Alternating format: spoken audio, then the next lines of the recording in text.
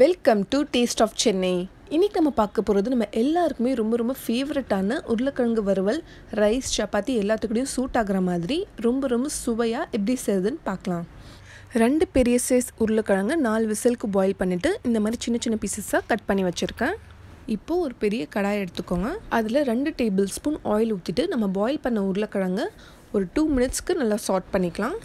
உருளைக்கிழங்கு இந்த மாதிரி ஃப்ரை பண்ணிவிட்டு நம்ம மசாலாவில் சேர்த்தோன்னா ரொம்ப டேஸ்டியாக இருக்கும். இந்த ஸ்டெப் ஆப்ஷனல் தான். வேணான்னா நீங்கள் ஸ்கிப் பண்ணிடலாம் இதை ஃப்ரை பண்ணிவிட்டு இப்போ இதை தனியாக எடுத்து வச்சிடலாம் இப்போ திரும்ப ஒரு நாலு டேபிள் ஸ்பூன் ஆயில் ஊற்றிக்கோங்க ஆயில் நல்லா சூடானதும் ஹாஃப் டீஸ்பூன் கடுகுளுத்தம் பருப்பு.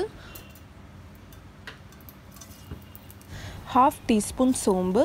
கொஞ்சமாக கருவேப்பிலை. மூணு பச்சை மிளகாய். ரெண்டு பெரிய சைஸ் வெங்காயம் நல்லா ஸ்லைஸ் பண்ணி வச்சுருக்கேன். அதை சேர்த்து நல்லா கோல்டன் ப்ரௌன் ஆகிற வரைக்கும் நல்லா ஃப்ரை பண்ணிக்கலாம். தேவையான அளவு உப்பு சேர்த்துக்கலாம். ஒரு பிஞ்ச் பெருங்காயத்தூள்.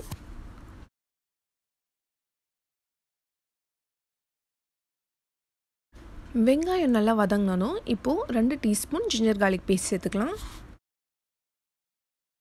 அதோட பச்சை வாசனை போகிற வரைக்கும் நல்லா ஃப்ரை பண்ணிக்கலாம்.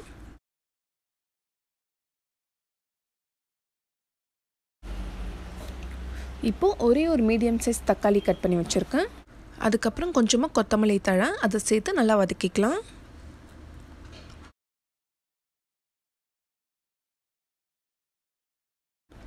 இப்போ நம்ம மசாலாலாம் சேர்த்துக்கலாம். ஹாஃப் டீஸ்பூன் மஞ்சள் தூள் ரெண்டு டீஸ்பூன் மிளகாய் தூள்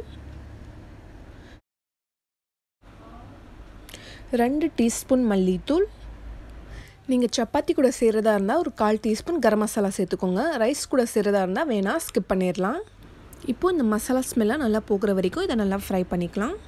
எப்பயுமே உருளைக்கிழங்கு வறுவல் செய்யும்போது இந்த மாதிரி நல்லா அகலமான சட்டி எடுத்துக்கோங்க. அப்போ தான் வறுவல் நல்லா சூப்பராக வரும். இப்போ நம்ம பாயில் பண்ணி ஃப்ரை பண்ணி வச்ச உருளைக்கிழங்க சேர்த்துக்கலாம். இந்த மசாலாலாம் இதில் நல்லா கோட் ஆகிற மாதிரி நல்லா மிக்ஸ் பண்ணி விடுங்க.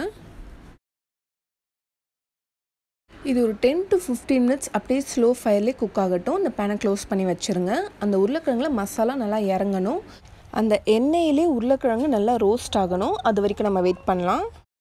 இப்போ நம்ம உருளைக்கிழங்கு வறுவல் சூப்பராக ரோஸ்ட் ஆகி ரெடி ஆகிடுச்சு இது கூட சாம்பார் ரைஸ் காரக்குழம்பு லெமன் ரைஸ் கூட சாப்பிட்டிங்கன்னா அட்டகாசமான காம்பினேஷன் ஈவன் சப்பாத்திக்குனே ரொம்ப சூப்பராக இருக்கும். கண்டிப்பாக நீங்களும் ட்ரை பண்ணிவிட்டு எப்படி வந்துச்சுன்னு சொல்லி எனக்கு கமெண்ட்ஸில் சொல்லுங்கள் என்னோடய ரெசிபி உங்களுக்கு பிடிச்சிருந்தா கண்டிப்பாக லைக் பண்ணி ஃப்ரெண்ட்ஸ் ஃபேமிலி கூட ஷேர் பண்ணிக்கோங்க.